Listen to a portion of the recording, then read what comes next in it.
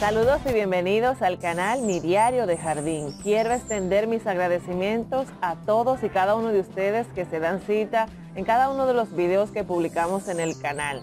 Es un canal de jardinería donde hablamos sobre plantas, cuidados sobre las mismas, abonados, tipo de sustrato.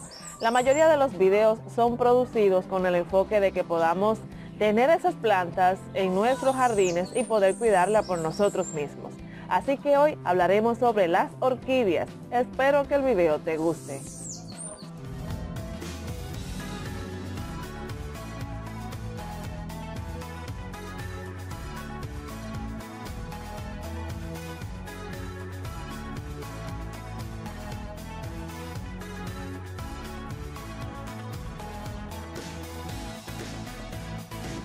Las orquídeas son plantas que nos enamoran porque es que la gran variedad de flores y también la forma, la textura de cada una de ellas pues nos engalanan el jardín y principalmente lo mucho que dura su floración, así que por eso siempre queremos tener una en casa. Lo que nos cuesta es hacerlas florecer o que abunden en cuanto a las hojas y que no pierdan la coloración, algunas que otras pues le salen unas manchas que no sabemos bien por cuál razón es que salen y cómo curarlas o sanearlas. Todo esto vamos a estar hablando en este video informativo. Voy a tratar de mostrarte algunas de las orquídeas que tengo y también el cómo vamos a cambiar de maceta para que pueda seguir creciendo. También te mostraré por qué se debe hacer. Periódicamente las plantas exigen de manera natural pues que se les cambie de maceta. Esto es para buscar que las mismas se reproduzcan, crezcan más y su sistema de areación sea excelente. Básicamente eso lo hemos hablado en muchos de los videos porque las raíces de muchas de las plantas se asfixian, no succionan los nutrientes de manera correcta y es por el cambio de maceta. Así que te voy a mostrar el cambio de una palegnosis bellísima que inclusive ya está en floración y quiero que antes de que siga abundando ponerle en una maceta diferente. Así que te voy a mostrar cómo lo hice y también qué cosas debes tomar en cuenta al hacerlo.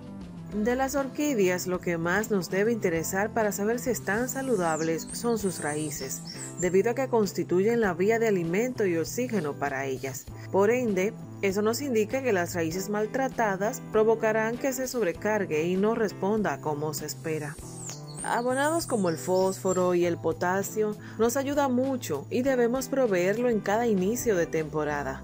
Vamos a cambiarle esta maceta, pues es muy grande y eso es lo que hace que acumule humedad y la pondremos en otra maceta para entonces llevarla a interior.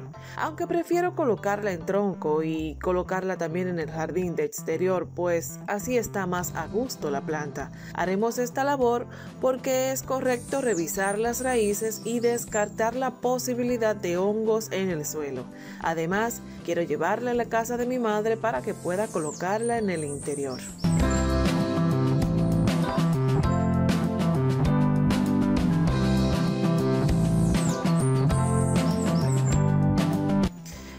Orquídea tiene más de dos años conmigo y ha florecido mucho. Esto es porque le proporciono una base protectora y estimulante en las raíces de la planta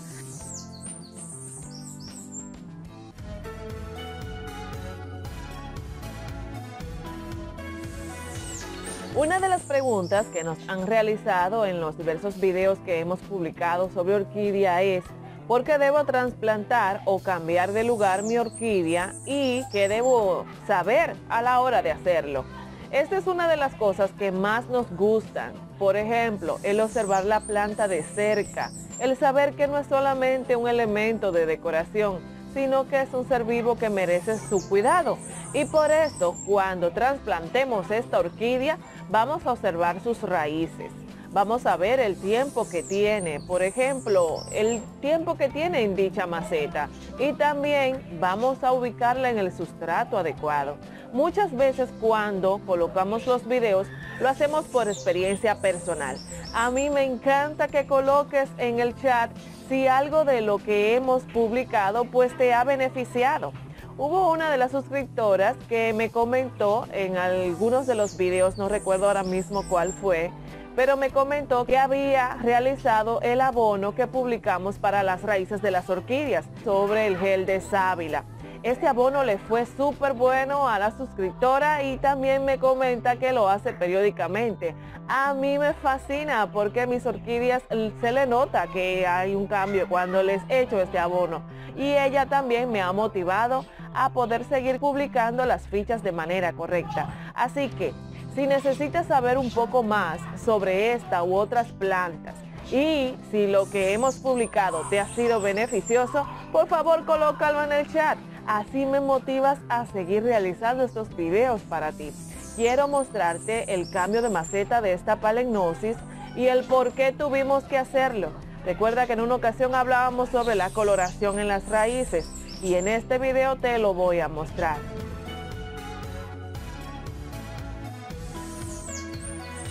La he dejado en el jardín de mi madre, pero hace poco vi que al colocarla en esta maceta no fue del todo agrado para la planta.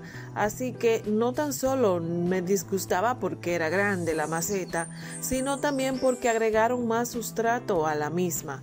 Y justamente ese es el detalle con el trasplante. El tipo de planta debe de proporcionársele el hábitat adecuado y también el suelo adecuado. Por eso me di cuenta que algo no andaba bien. Como la maceta era más grande que la orquídea, el exceso de sustrato atrajo humedad, así que debo sacarla de inmediato y observar la condición de sus raíces, pues tengo dudas sobre ese dato. Asimismo, como deduje, las raíces estaban totalmente verdes. Ya sabes lo que eso indica. Eso lo que me permite saber es que tiene exceso de humedad y por ende sobrealimentación. Eso también termina trayendo hongos o pudrición en la misma, así que debemos trabajarle a tiempo.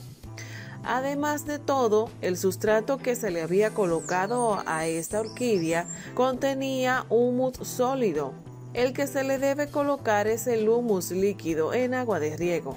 El humus sólido no se puede colocar a las orquídeas puesto que también acumula humedad. Para el trasplante de esta orquídea colocaré solo una parte de la fibra de coco que contenía y algunas piedritas en el borde de la planta para que no se, para que no se mueva y se adhiera a la maceta. ¿Qué haremos si encontramos bacterias u hongos en nuestras orquídeas?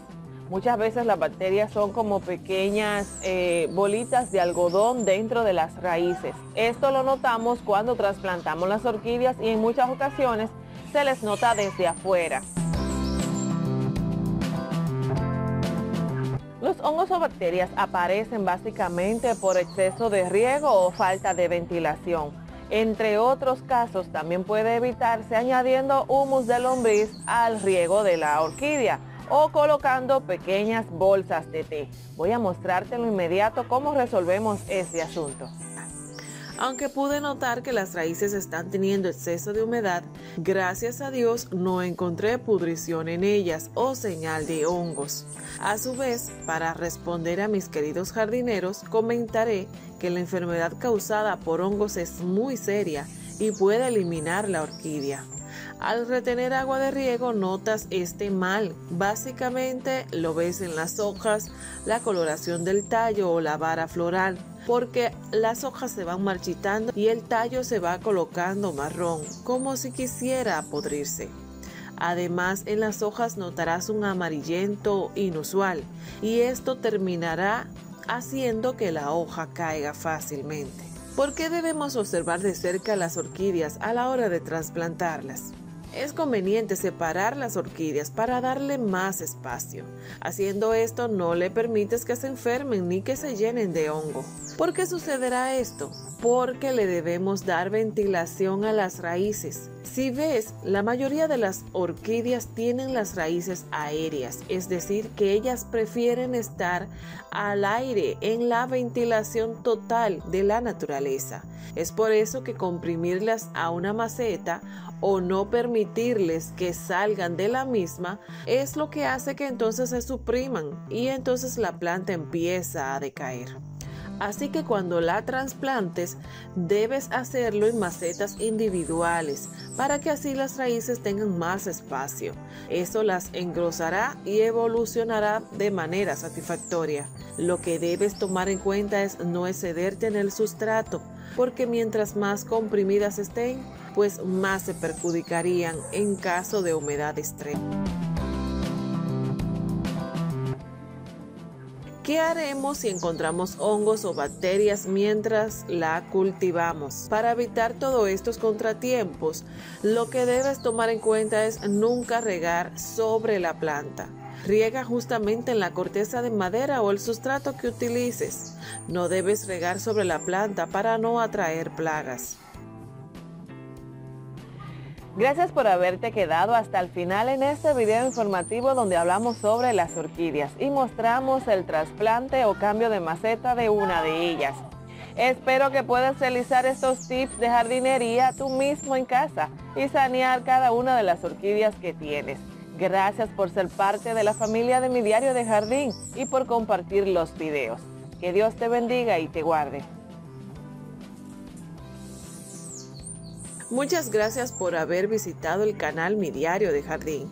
Déjame tus preguntas en el chat, dime de dónde eres y comparte este video. Me gustaría mucho llegar a más personas.